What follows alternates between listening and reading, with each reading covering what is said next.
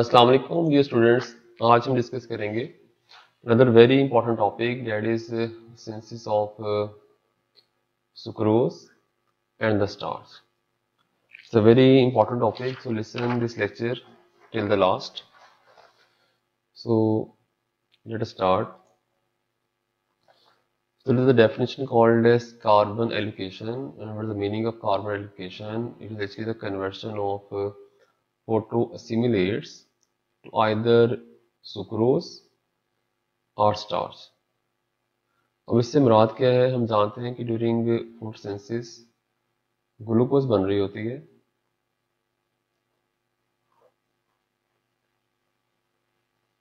और अगर हम ग्लूकोज को कन्वर्ट करें आदर इनटू सुक्रोज और इनटू स्टार्च जिसे कहा जाता है कार्बन एलिकेशन मतलब ये भी कार्बन की फॉर्म एक्चुअली और sucrose is also form of carbon starch is also form of carbon carbon की वो फॉर्म जो कि यूज़ हो जाती है, इस्तेमाल होती है, या आप कह लें सिंथेसाइज होती है बाय द प्लांट इन फोर्सेंसेस डेट इज़ ग्लूकोज और कार्बन की वो फॉर्म जो कि ट्रांसपोर्ट होती है in the plants through the flowing that is sucrose और कार्बन की वो फॉर्म जो प्लांट स्टोर कर रहा होगा। डेट इज़ स्टार्च और, अगर हम डिटेल देखें तो हमें ये पता होना चाहिए कि sucrose basically it's a disaccharide sugar disaccharide means कि दो मोनोसक्राइड से मिलकर बनी हुई है। और कौन कौन से मोनोसक्राइड्स को बना रहे हैं? इसको बना रहे होते हैं ग्लूकोज प्लस फ्रुक्टोज ये भी याद रखें कि सुक्रोज बेसिकली है नॉन रिड्यूसिंग शुगर और ये जो सुक्रोज है, इसमें साइज़ कहाँ होती है, इसको डिटेल से पढ़ेंगे भी। ये बेसिकली बन रही होती है in the cytosol part of the cell जबकि जो स्टार्च है it's a polysaccharide sugar. Polysaccharides means कि ये बहुत से मोलिस्क्राइड्स मिलकर बन रही होगी। और कौन सा इसमें रिपीटिंग यूनिट आ रहा होता है? That is basic glucose glucose is repeating unit in the formation of the starch और ये हम जानते हैं जितने भी पोलिस्क्राइड्स होते हैं, ये सारे के सारे नॉन रिड्यूसिंग शुगर ही हुआ करते हैं। और ये कहाँ से साइज़ हो रही होती है? To start basically synthesize in the stroma part of the chloroplast.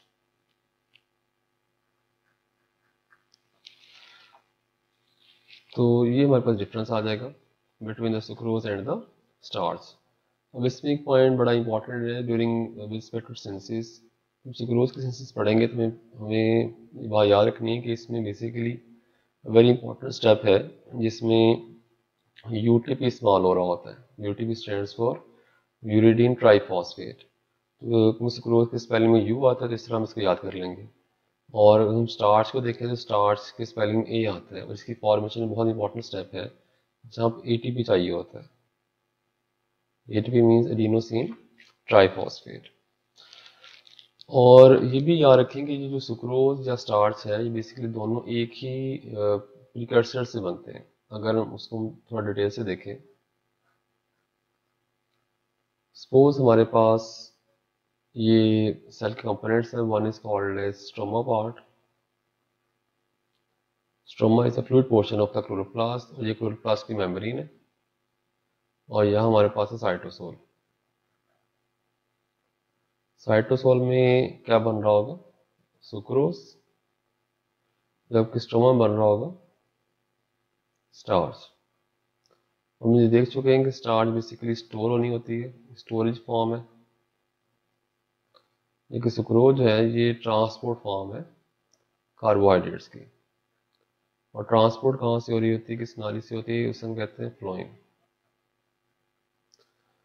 अब स्टार्च या सुक्रोज ये दोनों एक ही प्रिकर्सर से बनते हैं। उस प्रिकर्सर का नाम होता है ग्लेसरियल्डिहाइड थ्री फॉस्फेट और सुक्रोज भी उसी प्रिकर्सर से बनता है और उसका नाम होता है glyceraldehyde three phosphate glyceraldehyde three phosphate को हम ट्राइयोस फॉस्फेट भी कहते हैं.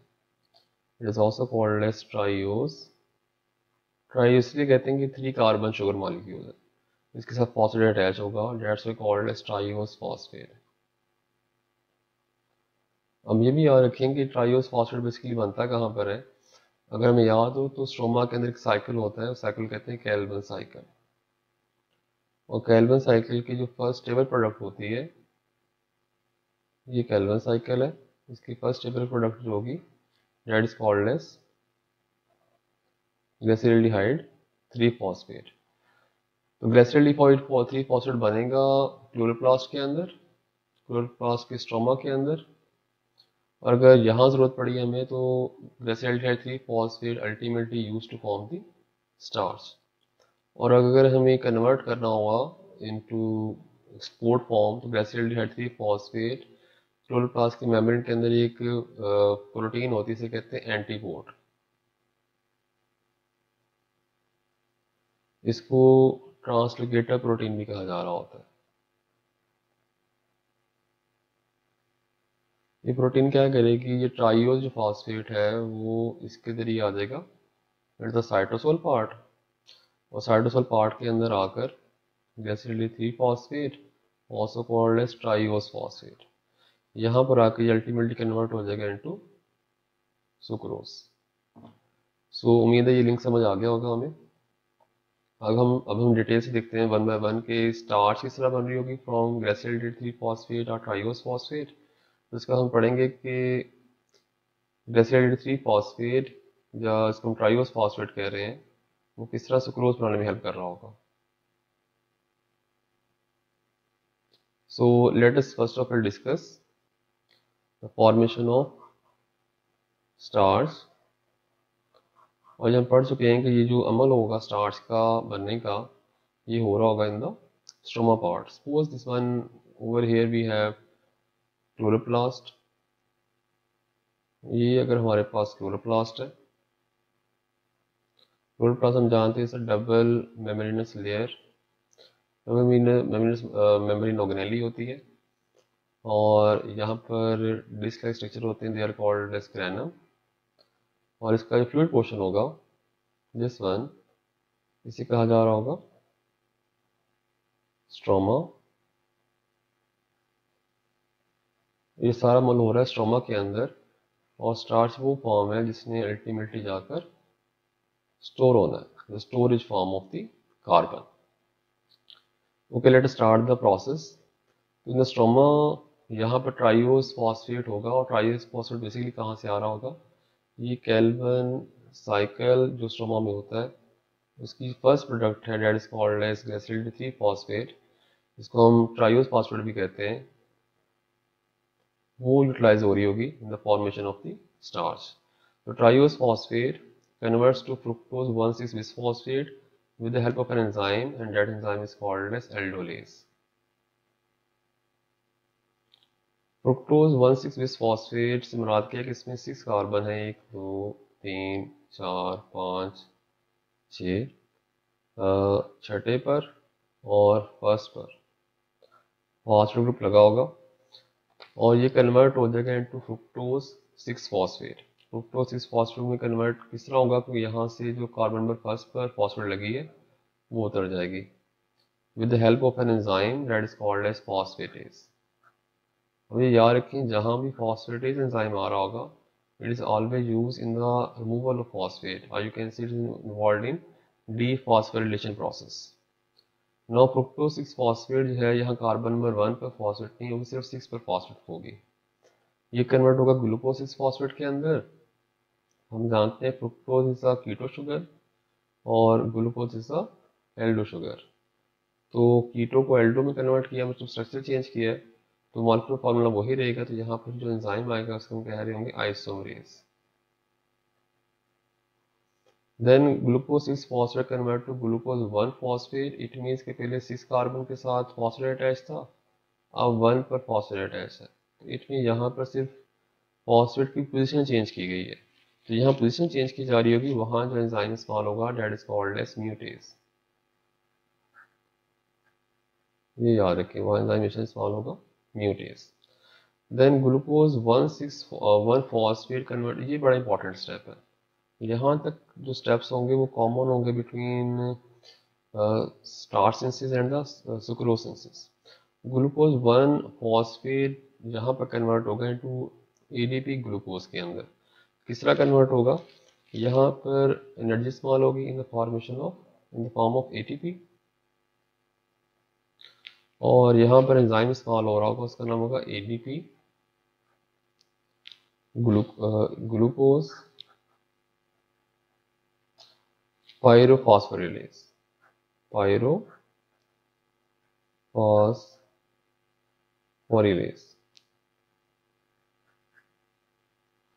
Ultimately we'll get ADP glucose. ADP glucose with the help of an enzyme called as starch synthase. You convert all again to और desired product that is called as starch और starch ultimately जाके store हो जाएगी। The storage form. So, in this way we have created starch from triose phosphate. अगर हम next देखते हैं किस तरह सुक्रोज बन रही होगी so let us discuss the formation of the sucrose और मैं बता चुका हूँ कि ये हमारे बेसिकली हो रहा होगा साइटोसोल के अंदर, अगर हमारे पास सपोज़ ये सेल है, और सेल के मुख्तलिफ़ कंपोनेंट्स हैं लाइक यहाँ पर न्यूक्लियस है, यहाँ पर क्लोरोप्लास्ट है, ये न्यूक्लियस है क्लोरोप्लास्ट है, यहाँ माइटोकॉन्ड्रिया है। तो इसका जो फ्लूड पोर्शन होगा, उसे कहा जा रहा होगा साइटोसोल। तो ये अमल हो रहा होगा साइटोसोल के अंदर। और जो क्लोरोप्लास्ट है, यहाँ पर प्रोडक्ट होगी, इसका नाम होगा ट्राइयोस फॉस्फेट वो कैलवन साइकिल में बनेगी इन द क्लोरोप्लास्ट पोर्शन, और वहाँ से फिर वो ट्रांसफ़र हो रही होगी through translocator, protein present in the chloroplast membrane to the cytosol. और साइटोसोल में जाकर फिर वो पूरा एक पाथवे स्टार्ट करेगी, वो हम देखते हैं किस तरह होगा। और ये भी यार कि सुक्रोज बेसिकली ये ट्रांसपोर्ट फॉर्म होगी। तो लेट स्टार्ट द प्रोसेस जहाँ ट्रांस ट्राइयूज फॉस्फेट मौजूद है हमारे पास इन द साइटोसोल और फिर लिख लेते हैं कि इसका सोर्स क्या होगा। Calvin cycle Triose phosphate with the help an enzyme called aldolase converts to fructose 1,6 bisphosphate then fructose one six bisphosphate में से एक फॉस्फेट रिमूव हो जाएगा with the help of enzyme called as phosphatase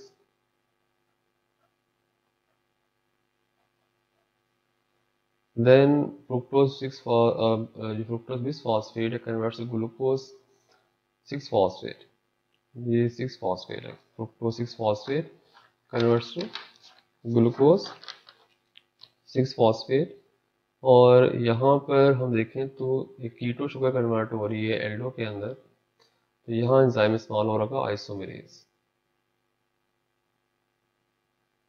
then glucose six phosphate converts to glucose one phosphate यहाँ जो position change हुई है phosphate की तो यहाँ एंजाइम इस्तेमाल होगा म्यूटेज अब यहाँ तक हम देखें तो स्टेप हमारे पास सेम है। As in the formation of starch अगर हम लास्ट देखें ना तो यहाँ तक ये स्टार्च की सिंसिस के दौरान, यहाँ तक स्टेप सेम थे। नेक्स्ट में चेंज आया। सेम यहाँ पे भी, यहाँ तक स्टेप सेम है। नेक्स्ट स्टेप में चेंज आ रहा होगा। और मैंने बताया था शुरुआत के अंदर क्योंकि आप सुक्रोज बना रहे हैं तो यहाँ यू को याद रखना है। अगर आप स्टार्च बना रहे हैं तो यहाँ पर ए को याद रखना है। इसलिए यहाँ पर ए टी इस्तेमाल हो रहा है। और यहाँ पर आप सुक्रोज बना रहे हैं तो यहाँ डेफिनेटली यू को याद रखना है। तो यहाँ पर हम जो ऐड कर रहे होंगे that is U T P uridine tri phosphate और यहाँ जो इंजाइम इस्तेमाल होगा, उसका नाम होगा U D P glucose pyrophosphorylase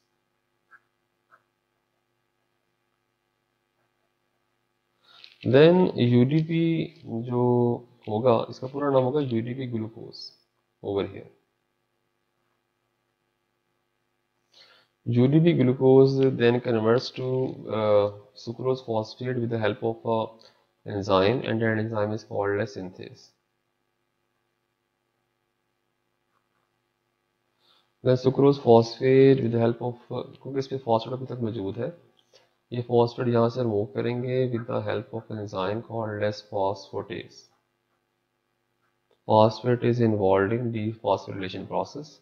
Ultimately, you will get the desired product that is called as sucrose and that is basically the transport form of the carbon.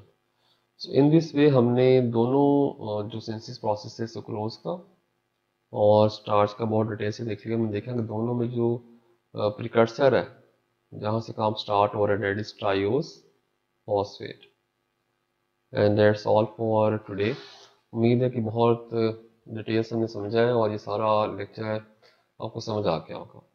And that's all for today अपना ख्याल रखिएगा। अल्लाह हाफिज़।